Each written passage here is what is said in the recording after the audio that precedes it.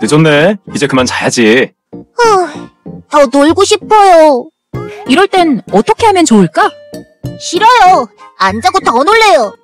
오늘은 일찍 자고 내일 10분만 더 놀게요. 그러면 문제가 해결되지 않아. 오늘은 일찍 자고 내일 더 놀기로 해.